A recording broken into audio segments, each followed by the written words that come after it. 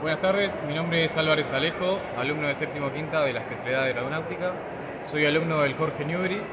Nosotros somos el grupo de trabajo de Gloucester Meteor. Hola. Bueno, mi nombre es Gianluca, también de séptimo quinta. Eh, estamos trabajando en yo, más que nada, en lo que son las eh, bobinas y todo el sistema de ignición. Eh, Buenas, soy Rodríguez Cristian, también por recibirme de técnico aeronáutico. Eh, con este grupo es el que trabajamos durante todo el año para poner a, puesto a punto sobre este motor. Bueno, yo soy Claudio Batnagian, alumno del Jorge Newbery. Yo me encargué de, la- de arreglar de las luces y el panel de fabricación, en conjunto con Facundo Suárez. Yo soy Tiago Jarstein, eh, estuve trabajando también con los chicos todo el año, eh, sobre todo en el motor, todo lo que fue sacar el motor viejo y poner el nuevo, acoplar todos los sistemas y ahora hacer las pruebas. Estuvo muy completo el año, ahora más adelante lo vamos a contar bien. Mi nombre es Facundo Suárez, soy alumno de Jorge Newbery y estuve con Claudio trabajando en las luces y en el panel de clave. Muchísimas gracias. Bueno, este es un Derwent MK8, fue seguido por la técnica Otto Krause, eh, gracias al departamento tanto de aeronáutica como de acá, como al departamento de la escuela técnica que nos cedió.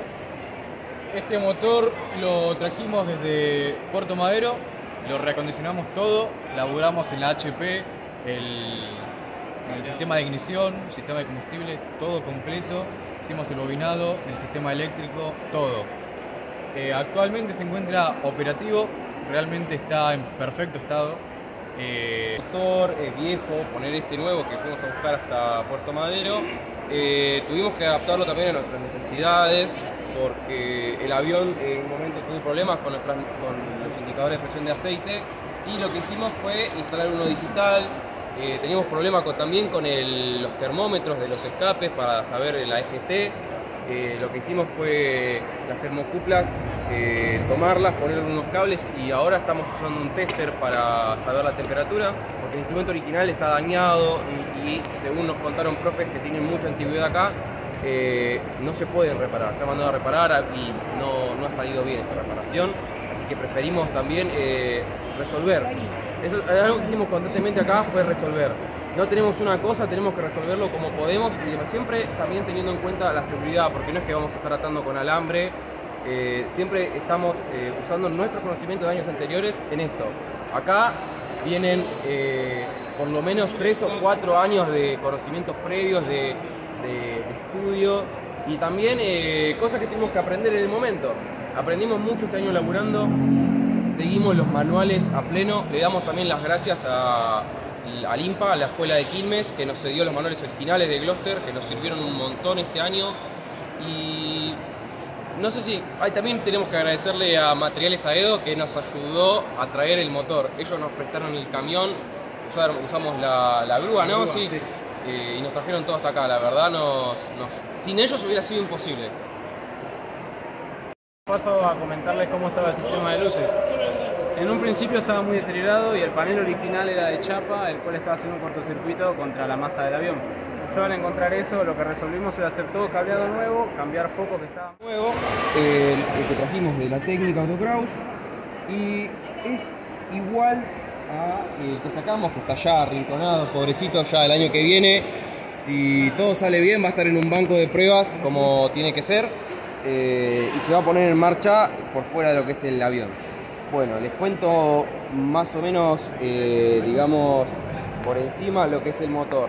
Acá tenemos el compresor, tenemos un compresor centrífugo de dos caras, tenemos acá los colectores la- de- para las cámaras de combustión. Todo esto es una cámara de combustión. Acá lo que se inyecta es combustible en estos que se llaman inyectores o quemadores.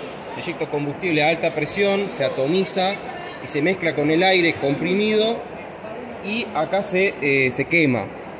Para nosotros eh, empezar con esta combustión, lo que tenemos acá son unas antorchas que se conforman por eh, acá un atomizador y una bujía que está por acá abajo que nos inicia la llama. Después la llama que se inicia de este lado y en la, del otro lado también tenemos una antorcha se hace esa llama y se, se expande al resto de cámaras. Y eh, acá tenemos la turbina. Tenemos una turbina axial de una sola etapa. eh, que en esta parte nosotros lo que hacemos es eh, acelerar y expandir todo el flujo de aire para generar el empuje que nos mueve el avión. Toda esta parte es la turbina. Acá tenemos ya eh, lo que se llama el nozzle y todo el resto es la tobera, que es lo que eh, nos acelera el, aire. Para hablar un poco de temperaturas, eh, acá en el compresor tenemos una temperatura normalmente ambiente y acá ya estamos hablando en la parte interna de casi 1500 grados.